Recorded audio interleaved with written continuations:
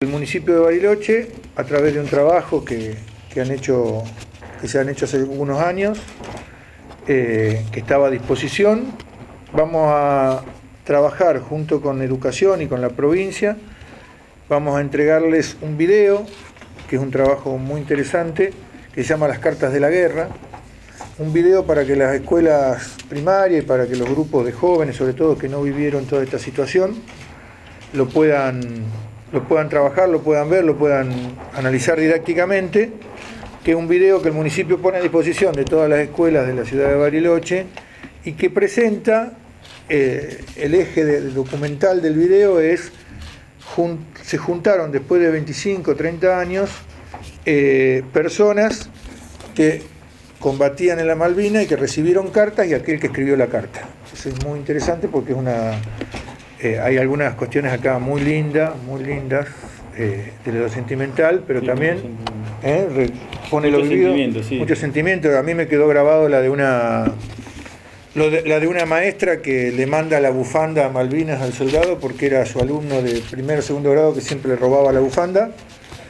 Y cuando se entera que el chico va a, a Malvinas, le manda la bufanda y una carta y los se reencontraron después de muchos años y eso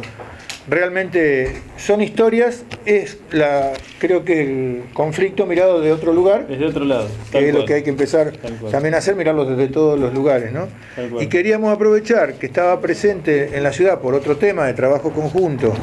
el ministro de Desarrollo Social de la provincia para eh, también hacerle entrega al, al ministerio y a la provincia de este material para que haga su distribución dentro de otras ciudades, Fabián, que podamos llevarlo a otras ciudades porque nos parece que es un material interesante. Que no es el único, que incluso el mismo centro de veteranos y la, dirección está produciendo otro material, pero cuanto más material tengamos y, y mirada sobre estos, sobre estos temas, me parece que va a aportar, sobre todo en lo educativo, como decíamos el otro día, en el Día de la Memoria, el legado está puesto sobre nuestra franja etaria, el legado de que nuestros hijos, nuestros nietos, nuestros niños no se olviden y, recuerden siempre lo que pasó para que no nos pase nunca más, para que no nos haya, digamos, para que no tengamos más muertos injustos, para que no tengamos eh, tanto dolor sobre nuestro país. Eh, nosotros tenemos el legado de que los más jóvenes puedan acordarse y para que recuerden tenemos que producir no solamente el relato oral, sino hoy por hoy la imagen, el relato televisivo, el relato del, del video, etc. Esa era una de las cuestiones y yo te voy a entregar, eh, yo te digo polaco, acá hay que decirte Rubén, pues seguramente, eh, al polaco, que es amigo de muchos años, eh, simbólicamente uno de los videos y después le vamos a mandar un montón a, a ya te lo di y Fabián, a Fabián, para que la provincia lo distribuya y nosotros lo vamos a distribuir en las escuelas públicas del la ciudad. Le agradecemos también, aunque sea funcionario municipal, le agradecemos mucho a Rafael Tapia, que fue el que hace unos años en otras funciones eh, hizo estas, estas notas, ¿no?